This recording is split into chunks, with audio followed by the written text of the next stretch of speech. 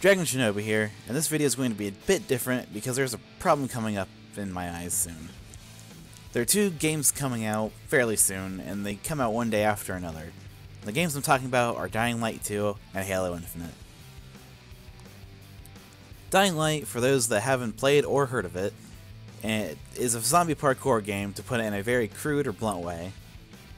The first game released on January 26, 2015, and has since then captured my own and many others' interests, with many people, including myself, still playing to this very day.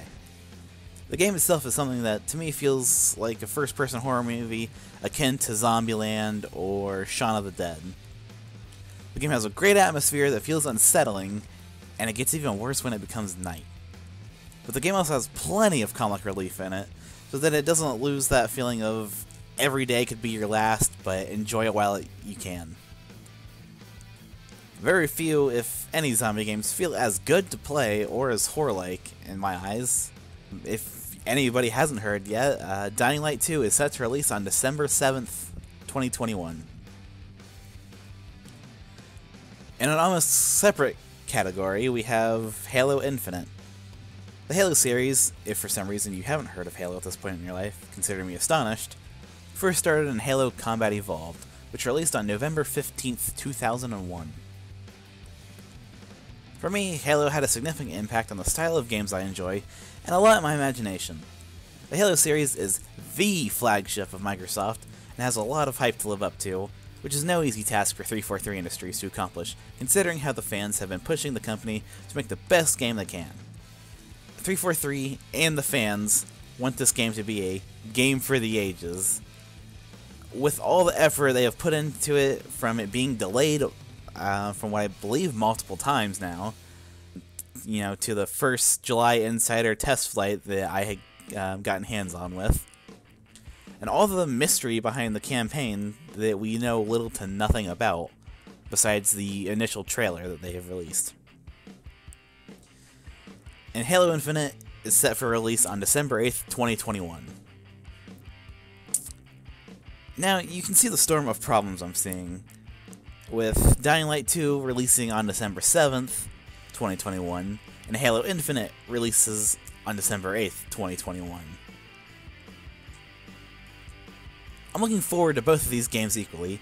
While I'm going to get one before the other, I will be experiencing both. My first problem is which game should I buy first with our dates approaching closer and closer. I have plenty of memories with Dying Light and my friends, but at the same time, there is a certain nostalgia factor with Halo, and you know, I just it's difficult for me to choose between one or the other at this point. My second issue that I see is one game will outshine the other, and I personally believe that Halo will kill Dying Light 2 in terms of sales. Now, I, I do wish the best for both of these companies, but I feel the release of these dates to be an unnecessary battle between the two.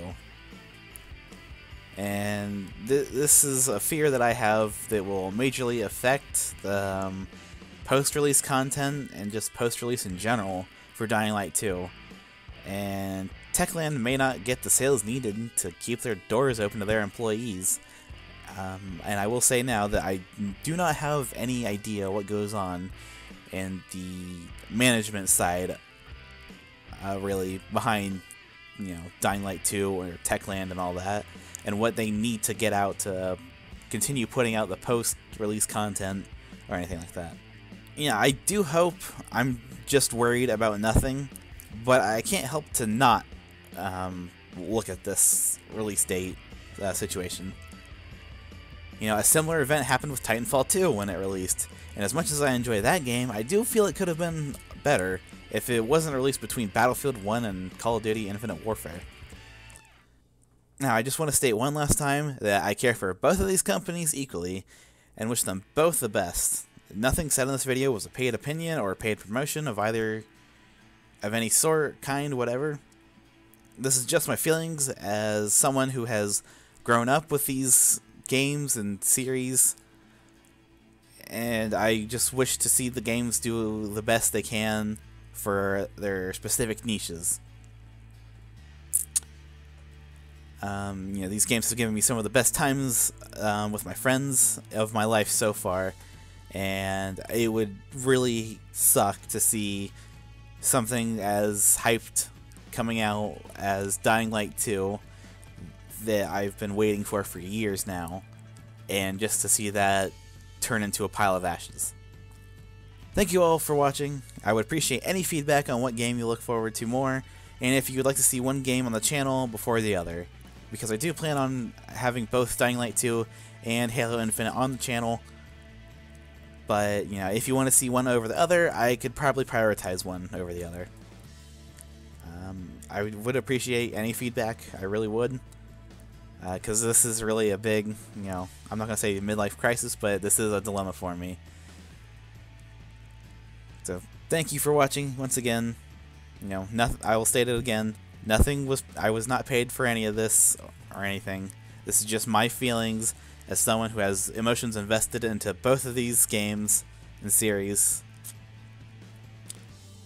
Thank you for watching. I'll see you all in the next video.